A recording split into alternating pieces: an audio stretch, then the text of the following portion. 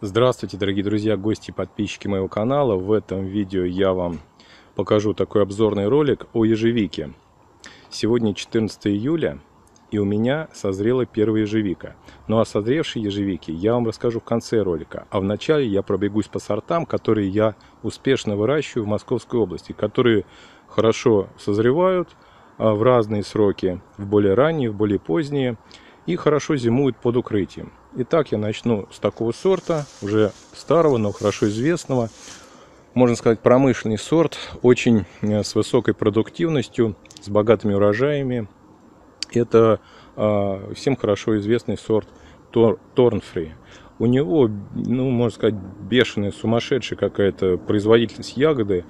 Э, очень много он выдает урожая и много выдает побегов замещения, что тоже важно при выращивании ежевики. То есть это те побеги замещения, которые на следующий год будут тоже давать урожай. Хорошо зимует под укрытием, ну и особо не болеет. Бывает, конечно, нападает на него антракноз, но при одной профилактической обработке ранней весной он, в принципе, практически не болеет в условиях Московской области. Второй сорт, очень похожий на Торнфри, он не здесь рядом прям растет, он называется Black Satin. Тоже промышленный сорт.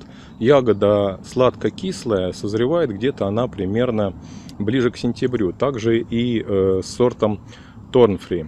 Э, единственное, если стоит жаркая погода, жаркое лето, может созреть в конце августа. Но до наступления холодов и заморозков успе, успевает отдавать что Торнфри, что Black Satin огромное количество урожая.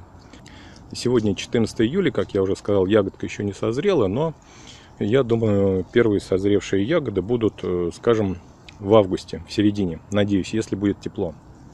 Здесь кустик тоже Торнфри. Вот так вот у меня растет рядом Торнфри и Black Satin. Black Satin тоже хорошо зимует под укрытием и также он практически ничем не болеет при одной профилактической обработке.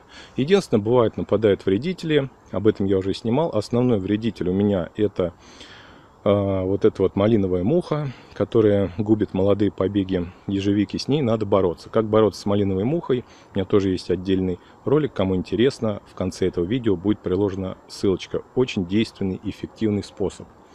Black Satin дает большое количество побегов замещения, то есть те побеги, которые будут на следующий год. И видите, у меня урожай очень много, он даже, можно сказать, перегружен, и все равно на нем много побегов замещения. Давайте перейдем к другим сортам. Следующий очень хороший сорт, он мне очень нравится, называется тройная корона или triple, triple crown еще вот в английском. По-английски так называется triple crown, по-русски тройная корона. Очень хороший сорт, некоторые еще у него цветут, вот видите, цветочки, а многие уже вот такие вот ягодки завязались. Отличный сорт, обладает сладко-кислым вкусом и таким, я бы сказал, средним сроком созревания на уровне Торнфри, то есть конец августа, начало сентября. Очень он э, большое количество ягод дает, и также он дает большое количество замещающих побегов, что, в принципе, хорошо его легко размножать. То есть можно с одного куста верхушками укоренить большое количество э, саженцев на следующий год. Следующий сорт вам показываю, это джамба. Джамба, видите, уже созрели первые ягодки. Очень сладкая ежевика. Ягодка еще даже не полностью созрела, а уже сладкая. То есть в ней изначально мало кислоты. Единственный минус, вот она дает мало побегов восстановления, замещения. Вот он, молодой побег, всего лишь один выдал. Больше пока нет. Это первое его плодоношение. Ягодок пока немного.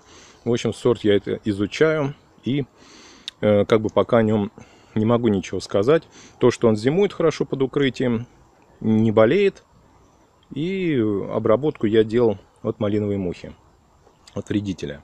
Сладкая ягода э, созревает джамба в условиях Московской области. Вот первую ягодку в середине лета при условии теплого лета. Я думаю, если лето холодное, то в августе точно он начнет созревать и отдавать первый урожай. Сорт джамба. Следующий сорт астерина. Астерина. Вот такой он высокий у меня кустик. Тоже первый год он плодоносит. Ну вот у него один побег замещения тоже он выдает. Всего лишь один. Если этот побег погибнет, то на следующий год урожая не будет. Вот в этом, конечно, кроется такая вот опасность выращивания такого сорта. Возможно, из-за того, что у меня кустик молодой, со временем они будут, я думаю, больше выдавать побегов замещения. Но, как видите, еще астерина не созрела. А, как говорят по отзывам, тоже сладкая ягода без кислоты.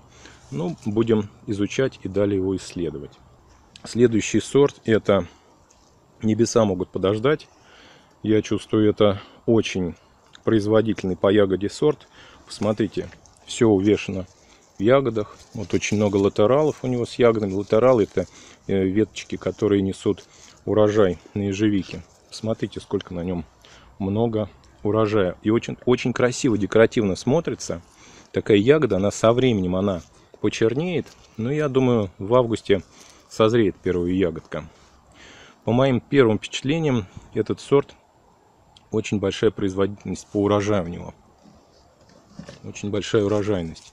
Но также вот побег замещения только один вижу. И ежевика, вот обратите внимание, она не очень высокая. Вот сейчас высота этого кустика где-то метр шестьдесят всего, в отличие от э, астерины, у которой высокий такой побег. И в отличие от э, Triple Crown, у которого э, ветки по 4 и 5 метров в длину, лоза практически, как у винограда. Вот такой вот интересный сорт э, небеса могут подождать. По отзывам, э, кто выращивает эту ягоду, она обладает тоже очень хорошим вкусом ежевичным. Зимует в Московской области хорошо под укрытием. Делал одну профилактическую обработку. Ну и, наконец, сорт, который у меня созрел самым первым, самым быстрым. Он обладает самой крупной ягодой.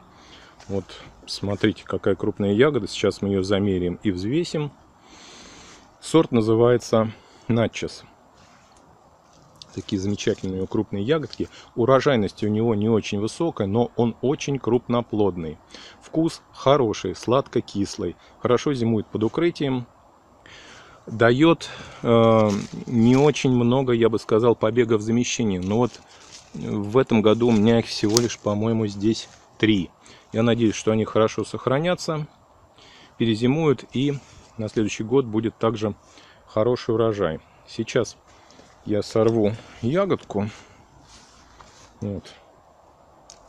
Такая вот ягодка. Сейчас мы ее с коробочком спичек сравним и взвесим.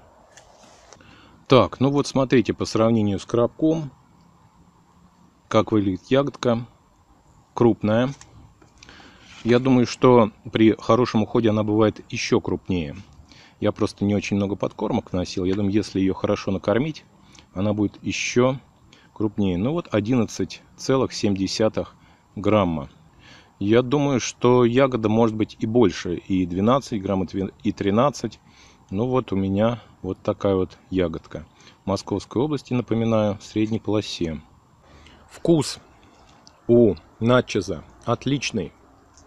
Очень мне нравится этот сорт. Его легко собирать.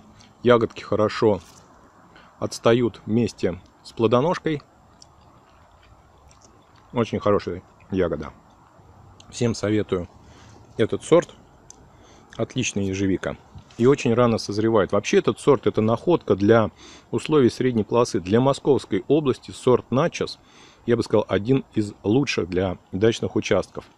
Возможно, он не промышленный из-за того, что у него не очень высокая урожайность, но его легко собирать. Если вы посадите несколько кустов, ну, скажем, 3-4 куста, ну, вы себя завалите ежевикой, потому что он будет плодоносить с середины лета и до самых заморозков. Смотрите, сколько у него еще висит ягод не созревших большое количество. Сейчас с другой стороны покажу. Созревает неравномерно, но ягод очень много. Вот какая крупная ягодка, смотрите. Ну вот, дорогие друзья, сегодня я вам показал обзор своих сортов ежевики. У меня часто спрашивают саженцы. Да, я выращиваю небольшое количество саженцев, но почтой я их не высылаю. Для московского региона, да, бывают у меня саженцы. В прошлом ролике я тоже показывал два отличных саженца ежевики. Но, как понимаете, они у меня очень быстро расходятся. Поэтому, если вас интересуют саженцы ежевики, вы находитесь в Московской области, вы можете заранее со мной связаться по телефону, который будет указан под этим роликом, и я вам укореню ежевику при э, такой возможности. На этом, дорогие друзья, пока все. Не забудьте подписаться на канал. До новых встреч. Всем хорошего. Пока-пока.